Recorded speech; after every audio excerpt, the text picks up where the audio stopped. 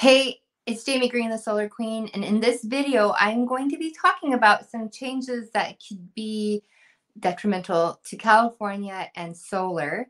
So you want to make sure that you share this video out. It's very, very important because I have a big ask of everyone who uh, will be watching this uh, live and in the replay. So uh, yesterday, there was a, a, big announcement that was uh, I guess, released by the California Public Utilities Commissioner's office, and that is to change the net energy metering rules.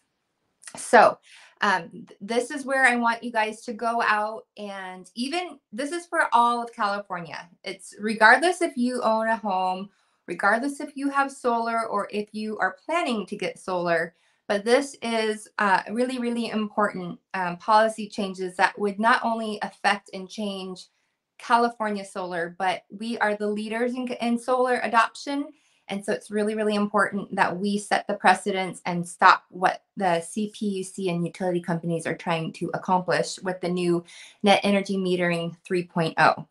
Um, so I'm going to make this really quick because I have to go pick up my kids in a few minutes. But this is the website that you're going to want to go and visit and sign. So it's www.savecaliforniasolar.org. We need uh, about 100,000 signatures in the next month, a little over uh, a month. Um, January 27th, 2022 is when the CPUC is going to vote on this net energy metering change. Currently, if you have solar, you're either signed up with NEM, the original NEM, or NEM 2.0 if you have gone solar since 2016 till now. And what that does, what it currently is right now for California, is when you go solar, you you sign a um, a uh, let's see a, a NEM agreement with the utility company, and it's good for 20 years. And what it does is it moves you over the time of use, and it it also offers net metering. So, for instance, if my system overproduces and I don't use all the energy during the daytime, it gets sent out to the grid and gets stored in my net energy. I get a net energy metering credit while the utility company goes and sells that the excess energy that my solar system generated for my home. They're going to use that and send it to uh, my neighbors and businesses and schools around me. And they're going to charge that that uh, customer a premium rate for that. So they benefit, uh, I benefit, it's all good. Um, there's also a $10 monthly connection fee that we pay as a solar homeowner, so an or business. So it's a $10 monthly connection fee to be tied to the grid and for net metering and all of that. We as um, homeowners that have solar, we are still, you know, reliant on the grid. It's called being grid tied, um, having grid tied solar. It's you have to you have to do it to be solar powered, and especially with the utility because we're still you know transferring uh, so uh, energy through the transmission lines. We're just not paying for generation charges. We're no longer having to worry about that because we have our solar systems. But this NEM 3.0, what's going to happen that there's a it's like a 240 page document and I haven't signed it. But actually, I just got off the phone with someone from CalSA, which is the California Solar and Storage Association.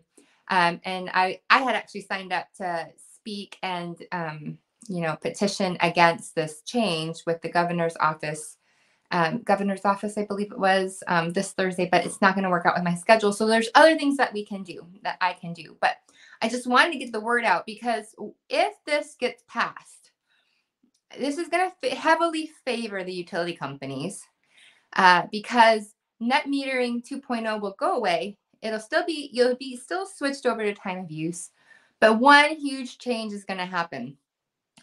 And that is the connection fee instead of it being a flat $10 a month uh, in, in PG&E territories, like San Diego uh, Gas and Electric, I think is $15 a month. And I believe S um, Southern California, sorry, uh, Southern California Edison is like $12, 12 to $15 a month just to be connected to the grid.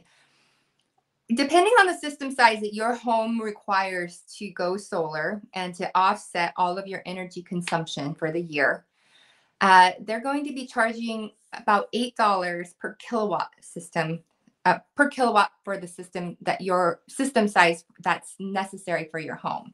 So, say an average solar system in California is about seven kilowatts. That is going to be $56 in connection fees that you would have to pay every single month. So, $56 for a seven kilowatt system times 12 months, that's $672 that you would have to pay in connection fees to the utility company just to be solar powered. And what this does is it, it's going to make it impossible for some homeowners to make it financial sense to go solar. The bigger the system, and I have homeowners that have 15 and 16 kilowatt system sizes. That was the case, their connection fee for a 15 kilowatt system is going to be $120 a month just to be solar powered and grid connected. So that is the average that people pay right now, currently in PG&E territory, to be connected to the grid and have solar power. And this is discussed, you know, with every single homeowner. But this, if if the CPUC alone gets away with this, it's going to kill solar adoption and growth in uh, the state of California.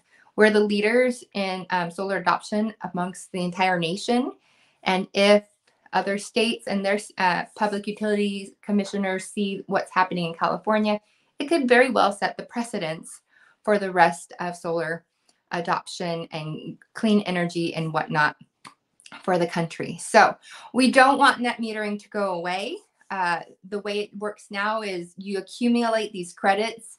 You um, you, if you net zero at the end of the year, you don't owe the utility company anything. They don't owe you anything. If you overproduce, the utility company at the end of the year is going to settle up with you and give you pennies on the, the dollar for your excess energy that you are um, producing. If you use more energy than the your solar system was designed to generate for you, you're going to owe the utility company the going market rate for that that energy. So you want to make sure you get your system size properly, but with the NEM 3.0 coming out, uh, it's going to, uh, it's not going to be as favorable. Um, my understanding from what I've read is it's likely going to be, um, net, it's going to be settled up maybe on a monthly basis.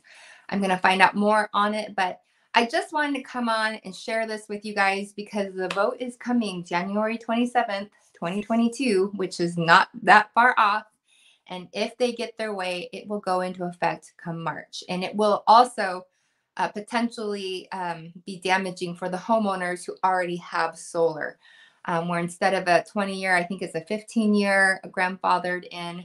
And I believe they may be subject to the um, the the uh, connection fees. I'm not. I, I it's I have to go and do some more research on that. But for the sake of this live stream, I just wanted to come on and share some things that came out yesterday in the news. It's definitely stirring, um, stirring the pot for everyone in the solar industry, everyone that's thinking about solar. It could result in massive jobs um, being totally wiped. Companies that say no, we're not going to continue selling solar, installing solar in California if the if they get their way. And of course, the utility companies are saying it's solar is um, causing uh, issues for homeowners that don't get solar or residents that don't get solar because they're having to increase the rates for them to maintain the grid uh, and all of that. So take it for what you will. This is not favorable for the state of California or the rest of the country, in my opinion. And so I really urge you to go to savecaliforniasolar.org and sign the petition um, call the governor's office if you are in the solar industry in any capacity and voice your opinion um, and tell Governor Newsom to stop this, to put a kibosh on it. Uh, so that is my message for you guys today. It's very important. Um, you're welcome, Noah Falk. Uh, thank you. Um, it's it's an important message, and I wanted to share it on all of my platforms as um, a voice of solar uh, both residential and commercial. And for everyone that's in the industry, go and do this. It's really, really important. Share it with everyone that you can. Um, for anybody in California to go and sign and say stop, because the more people that speak up, um, they should listen and put a kibosh on this and stop it. But we all need to band together to save the future of solar in California and save the future of our planet and um, helping our planet be cleaner and greener and sustainable. So that's it. I'm going to go pick up my kids now. Have a great, I think it's Tuesday. It feels like Wednesday, but have a great Tuesday and share this out, please. Okay. See you guys.